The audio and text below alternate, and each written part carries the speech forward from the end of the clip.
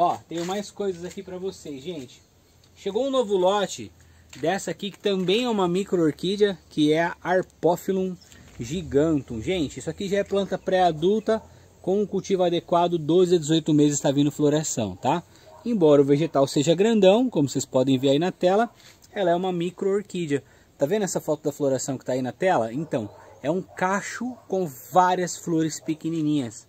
Então, o que denomina a orquídea, que cataloga ela, que classifica ela como uma micro orquídea é o tamanho da flor. Então, ela dá um cacho parecendo uma espiga rosa com centenas de flores pequenininhas, tá?